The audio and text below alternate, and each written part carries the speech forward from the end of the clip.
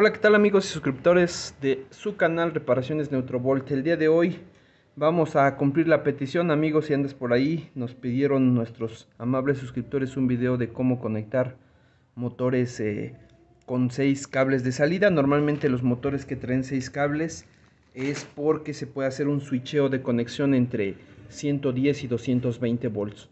Eh, hay motores que son a vienen conectados en serie y que se pueden trabajar a 110 Sí, esto es debido a que el fabricante pues ya eh, hizo los cálculos necesarios en el calibre del alambre, número de vueltas, etcétera, para dicha actividad.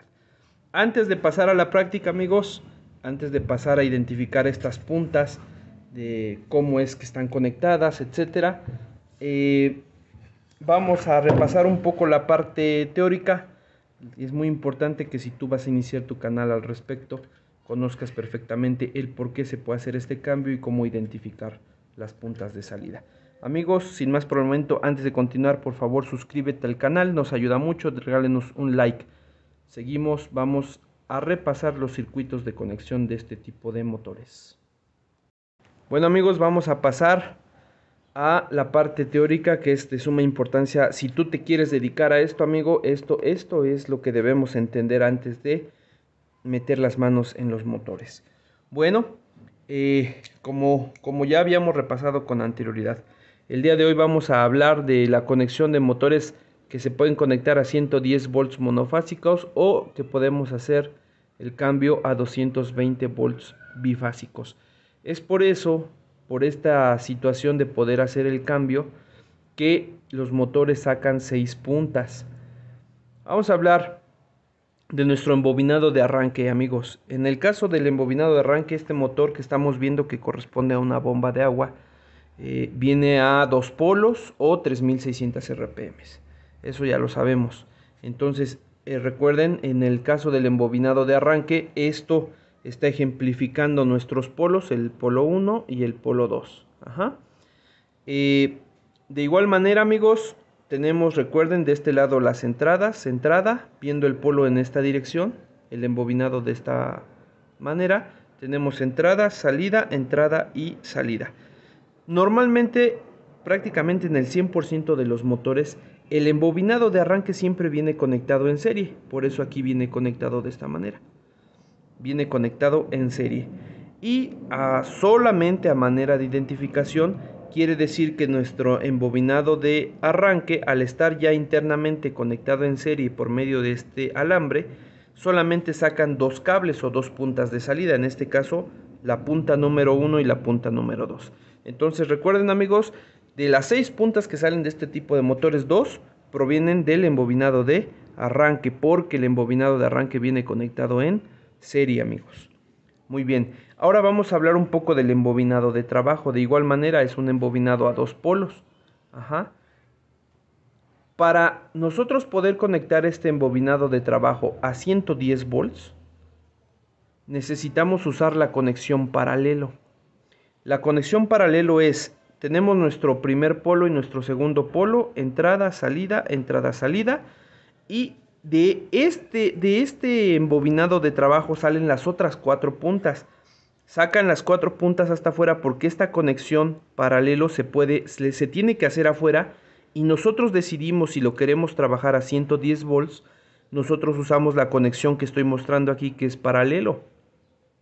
Si nosotros queremos trabajar nuestro motor a 220 volts, es decir, en voltaje bifásico, nosotros decidimos hacer afuera la conexión serie. Esta es la diferencia, perdón, no me había percatado que no se ve claramente la parte de abajo. Yo creo que ahí, perfectamente. Entonces, repito un poco.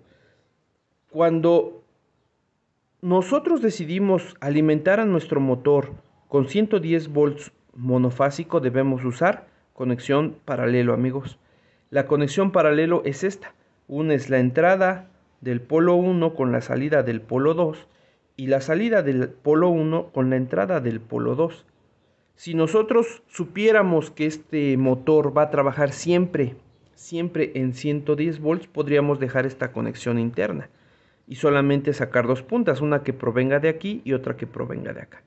Pero como estos motores vienen diseñados para trabajar a ambos voltajes, amigos, lo que hacen los fabricantes es sacar las cuatro puntas, es decir, esta sería, recuerden que las primeras dos vienen del embobinado de arranque. Y entonces la tercera punta sería esta, la cuarta punta sería esta, la quinta esta y la sexta esta punta. Es decir, del bobinado de trabajo salen las otras cuatro puntas, amigos. ¿Y por qué lo hacen así? Porque nosotros afuera, no internamente, sino afuera decidimos hacer esta conexión en paralelo o decidimos hacer para los para hacer el cambio a 220 volts bifásico, decidimos conectar nuestro motor en serie, amigos, en serie. Entonces, por eso sacan las puntas, teniendo las cuatro puntas afuera, tú decides si haces conexión en paralelo o haces conexión serie, dependiendo del voltaje que va al cual va a estar trabajando tu motor. En este caso, repito, estamos hablando de una bomba de agua. Ok amigos, es aquí donde radica el por qué podemos hacer los cambios de voltaje y el por qué salen seis puntas de estos embobinados. Es decir, salen dos puntas del embobinado de arranque y cuatro puntas del embobinado de trabajo, amigos. Bueno, ahora vamos a hacer un leve repaso, también un circuito que hemos usado mucho, amigos, que es esto, todo esto son las conexiones internas de nuestro motor, que usamos directamente en el embobinado. Aunque sacamos las puntas, todo esto proviene del interior del embobinado. Y en el caso de esta conexión, yo la llamo conexión de alimentación. Ya es teniendo estas puntas y habiendo ya decidido usar conexión para paralelo para 110 volts o serie para 220 volts, entonces ya teniendo esto, ¿cómo vamos nosotros a alimentar nuestro motor? Bueno, si nosotros, vamos a regresar un poco para evitar confusiones, si nosotros decidimos hacer conexión paralelo para 110 volts, hacemos esta conexión afuera. Es decir, tenemos los cuatro cables. Este, este cable que proviene de aquí y este que proviene de aquí los unimos, es decir, los trenzamos y al final se convierten en una punta. ¿Estamos de acuerdo? Y la salida de la bobina 1 o del polo 1 y la entrada del polo 2 del embobinado de trabajo también se unen y se trenzan y al final podemos decir que de aquí sale un cable y de aquí sale otro cable. Ajá. Si nosotros decidimos hacer la conexión en serie, amigos, en serie, lo que nosotros hacemos es unir la salida del polo 1 con la salida del polo 2 del embobinado de trabajo. Estas se quedan ahí, ajá, y las dos puntas que salen para la alimentación del embobinado de trabajo es esta punta que es la entrada del polo 1 y la entrada del polo 2. ¿Ok? Dicho en otras palabras, después de haber decidido hacer esto, nosotros para conexión de alimentación debemos tener únicamente dos puntas del embobinado de trabajo. Ya sea la que sale de aquí y la que sale de aquí más las dos puntas del bobinado de serie o las dos puntas del embobinado de serie y esta punta de aquí y esta punta de aquí amigos. Ahora sí, la conexión de alimentación, amigos. Tenemos el embobinado de arranque y sus dos puntas. Tenemos el embobinado de trabajo y al final sus dos puntas, dependiendo la que hayamos decidido hacer. Hacemos un común. Este es un punto común. Si usted te das cuenta, amigo, sale una punta del embobinado de arranque y una punta del embobinado de trabajo. Se juntan y este punto es el llamado común. Posteriormente, y este común va alimentado por línea. ¿ok? Posteriormente tenemos la otra punta del embobinado de arranque pasa por el capacitor, sale del capacitor, entra al micro switch o platino, dependiendo cuál sea el caso, sale del micro o del platino y se une con la otra punta del embobinado de trabajo. Y al final esto se va a neutro o línea dependiendo si estás usando 220 volts bifásico, recuerden que 220 volts bifásico usa dos líneas de 110, o si estás alimentando, según mi diagrama, en voltaje monofásico, es línea y neutro. ¿Ok amigos? Esta es la teoría detrás de la práctica.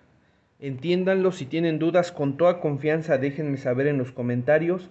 Yo estoy para asesorarlos y eh, poder así comprender perfectamente cómo trabajan estos motores. Vamos entonces a cómo identificamos ahora las puntas y cómo hacemos la conexión de alimentación amigos. Vamos para allá. Bueno amigos, tenemos aquí ya el motor, el motor de esta bomba de agua. Ya me tomé el tiempo de destaparlo evidentemente. Hay un detallito que a veces los puede confundir amigos. Lo vamos a ver a continuación.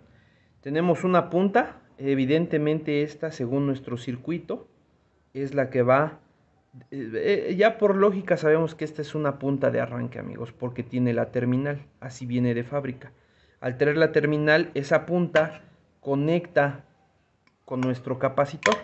Conecta con el capacitor, amigos, con este capacitor de aquí. Ajá. Según nuestro diagrama, voy a poner un poco el diagrama para que ustedes vean el diagrama de conexiones. Del embobinado de arranque sale una punta que va al capacitor.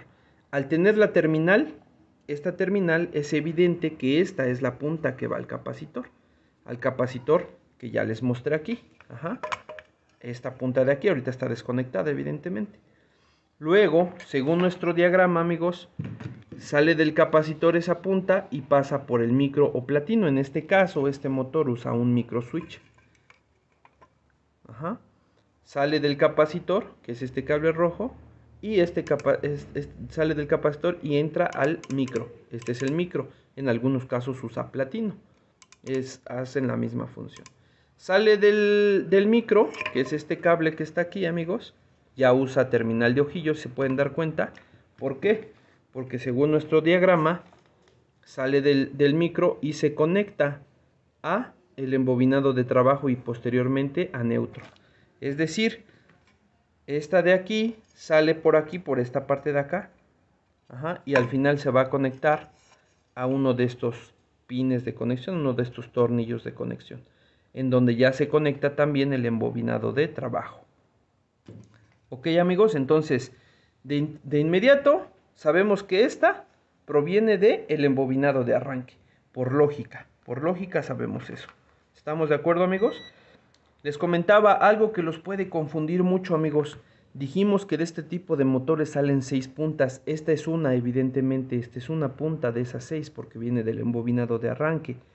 Si nosotros contamos estos cables, vamos a contarlos. Tenemos 1, 2, 3, 4 con este azul, 5, 6, 7, 7 cables más este, tenemos 8 y muchos cuando empezamos nos confundimos y decimos cómo es posible que tengamos 8 cables si pues deberían ser 6 no se confundan amigos, uno de estos cables solamente sirve como link o como unión. Lo hacen los fabricantes pues por mayor comodidad. Solamente si ustedes checan el diagrama de conexión del, motor, uno de estos, que, puede ser el neutro, conecta únicamente con un cable. Ese cable lo único que hace, imagínense que es un cable que... Uno de estos cables lo único que hace es estar aquí no pasa por el embobinado ni nada, simplemente la otra punta puede ser esta, por ejemplo. Bueno amigos, entonces vamos a identificar por la ayuda de nuestro multímetro las puntas. Como comentábamos anteriormente amigos, eh, evidentemente la, punta roja corresponde al, embobinado de, arranque. Vamos a, a, buscar la otra punta que corresponde al embobinado de arranque. Es tan fácil como ir tocando todas. Café no, blanca no, verde no, amarilla tampoco, vamos a tocar la negra, aquí está, miren, entonces como dijimos, roja evidentemente es arranque y la otra punta de arranque es la negra, entonces anoten, anoten amigos, anoten conmigo, que las del embobinado de arranque estamos hablando de que son la punta roja, con la terminal y la punta negra. Esas corresponden al embobinado de arranque. Ahora vamos a tocar, por ejemplo, la amarilla y vamos a buscar su eh, otra punta, ¿no? Tocamos esta azul, ¿no? Tampoco la otra azul, la blanca, ¿no? La verde, aquí está, miren amigos. Esta verde corresponde a una bobina del embobinado de trabajo. Nos da una resistencia de 4.6. Entonces estas dos corresponden a una bobina. Es decir, amigos, corresponden a una de estas bobinas, perdonen. Aquí está los apuntes. A una de estas bobinas del embobinado de trabajo corresponden a una de estas bobinas porque nos dan continuidad. Entonces podríamos decir que una es la punta amarilla y la otra es la punta verde. Nos falta encontrar estas otras dos. ¿Sale? Vamos a, a buscarlas amigos. Entonces dijimos amarilla y verde. ¿Sí amigos? Vamos a buscar las otras dos.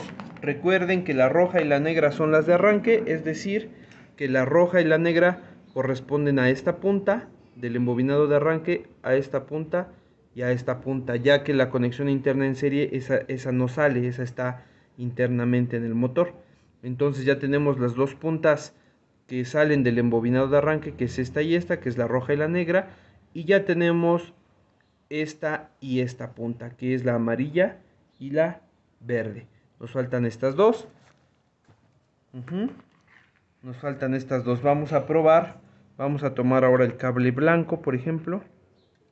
El cable blanco con el cable amarillo ya está, negro ya está. Vamos con el café. No nos da nada. Vamos con el azul. No nos da nada. Y este azul, aquí está. Nos da una resistencia también entre estas dos. Entonces, estas dos corresponden a las otras puntas del embobinado de trabajo, que es azul claro con blanco. Entonces anotamos azul, azul con blanco son las otras puntas del embobinado de trabajo. Es decir, amigos, ya tenemos todas las puntas identificadas. Esta con esta y ya tenemos ahora que este es el azul claro con el, el cable blanco, amigos. Ya tenemos todas las puntas identificadas. Sin embargo, si ustedes notan, como les comentaba, algo que los puede confundir mucho, tenemos por aquí un cable café, cable café, perdón, y un cable azul oscuro, que son estos dos. Como les decía, amigos, este no se dejen engañar por esta situación. Este cable solamente lo usan como, como un, un link, una unión. Es decir, este cable solamente entra no pasa por el embobinado, sino que nada más entra y sale es un cable largo que inicia en color café y sale en color azul. Y ahorita van a ver cómo se pueden dar cuenta de esto. Esto lo hacen porque, ejemplo, si nosotros vamos a hacer un común, un común, un común lleva la otra punta del embobinado de arranque, que es el negro, y lleva, dependiendo de la conexión, lleva, por ejemplo, puede ser que lleve la punta amarilla y la punta blanca, por ejemplo. Un ejemplo, ¿no? Ahorita vamos a ver con exactitud. Este sería nuestro común. Y a veces los fabricantes dejan un cable así como este caso, el, el café y el azul, para que en lugar de que metan directo la línea aquí, es decir, directamente en lugar de meter este uno de estos cables, ya sea el negro o el blanco, directamente esta misma unión, meten el café, por ejemplo, o meten el azul el azul oscuro. Y la línea la meten únicamente al café, que al final es lo mismo, amigos. Es como si esto no existiera y metieras aquí directo la línea, o como si pones esta punta aquí y la línea la metes en la café, solamente hace conducción hasta donde debe de llegar. ¿Cómo sabemos eso, amigos? Vamos a medirle la resistencia. Como no pasa por las bobinas, nos debe dar la misma resistencia que cuando nosotros tocamos las puntas así nos da una resistencia, nos debe dar algo muy aproximado a esto. Fíjense, vamos a, ver aquí el, el, dispositivo. Y nos está dando una resistencia aproximada de punto 4, miren, punto 4.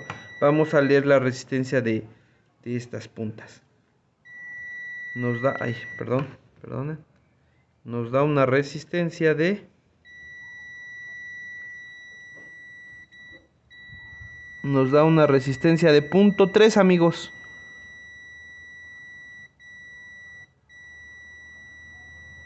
Punto 3.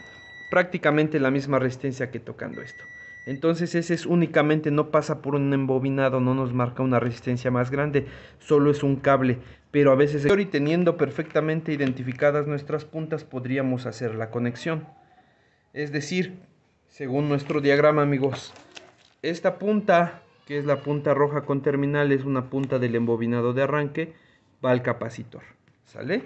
Es por eso que aquí en la tapa se ve perfectamente cómo llega al capacitor esa punta.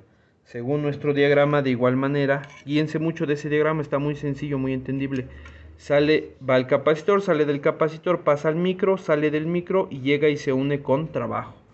Entonces, esa punta debe llegar al capacitor, sale del capacitor, entra al micro, sale del micro y esta punta se debe unir con trabajo. Ok. Dicho lo anterior, entonces lo que tendríamos que hacer es unir, por ejemplo, lo siguiente. Vamos a hacer, si nosotros queremos hacer la conexión en paralelo para 110 volts, ¿qué tenemos que hacer amigos? Tenemos que del polo 1, de uno de los polos tenemos que conectar entrada con entrada del 1 con salida del 2. Ya sabemos cuáles son, ya sabemos cuáles son entonces eso nos dice que tendríamos que unir. Entonces amigos, este ya dijimos va al capacitor. El común sería negro porque ya sabemos que este corresponde a, la otra punta de arranque. Y si nosotros queremos conectar en paralelo, aquí ya puse los nombres según fuimos identificando. Recuerden que verde y amarillo iban juntos y azul claro y blanco iban juntos. Entonces si queremos conectar a 110 volts tenemos que conectar hacer esta conexión en paralelo, ajá, unir estas dos, entonces sería amarillo y blanco. Entonces podríamos poner amarillo y blanco junto con el negro y este sería nuestro común, amigos. Ajá. Y del otro lado sería verde, verde, como lo muestro aquí, verde con azul claro. ¿sí? Esa es la otra punta, sería verde con azul claro. ¿sí? Esta sería la otra punta del embobinado de, trabajo y como según dice nuestro diagrama de alimentación, que es este de aquí, sale del micro switch, se conecta con la otra punta de trabajo que es esta, entonces ahí conectaría esta punta roja que sale del micro. ¿Sí amigos? Perfectamente. Y ahí conectaríamos, según nuestro diagrama, en el común línea o neutro, línea o neutro es irrelevante, y en el otro conectaríamos neutro. ¿Sale? Estas dos, estas dos pues pueden salir sobrando. Si quieren ustedes hacer un link, lo único que tienen que hacer es, por ejemplo, si este es el común, este lo ponen en una parte junto con el café, por ejemplo, y aquí meten la línea. Y es lo mismo, llega la línea hasta acá, que sería lo mismo que si omiten estas y meten aquí directamente la línea. Ok amigos, y así funcionaría el motor a 110 volts. Pero si nosotros queremos hacer la conexión a 220 volts, como es esta, tendríamos que hacer lo siguiente. Tendríamos que hacer un común, tendríamos que hacer primero en el embobinado de trabajo una conexión en serie. Es decir, salida de la bobina 1 con salida de la bobina 2, que si ustedes van aquí arriba sería unir verde con blanco. Entonces unimos verde con blanco. Ajá. Y estas dos no, se, no llevan línea ni nada, simplemente estamos haciendo la serie aquí. Ajá. Y al hacer la serie ahí, nos quedarían las puntas. La entrada de la bobina 1 que corresponde a la amarilla y la entrada de la bobina 2 que corresponde a la azul claro. Esas serían las dos que nos, nos quedarían. Entonces la amarilla y la azul claro, que serían estas dos. Recuerden, estas dos ahorita las estamos omitiendo. Nos quedarían estas dos. Para conectarlo, la conexión es igual. Se hace un común, en este caso podría ser negro con amarillo. La punta que sale del micro switch, que es esta, esta roja, se uniría con esta punta que es la punta azul. Y ahí iría neutro o línea. Y en esta iría la otra, perdón, perdón, en este caso como es serie, van 220 volts bifásicos. En, una iría la línea 1, digamos en esta iría la línea 1 y en la otra iría la línea 2. Sí está claro amigos y esa es la manera en la que nosotros podemos hacer el, cambio en nuestros, nuestros motores. Entonces quedamos amarillo con negro podría ser nuestro común. Aquí metemos línea 1 porque estamos haciendo la conexión serie. Aquí iría la línea 1 y en el otro caso sería el azul claro que es este.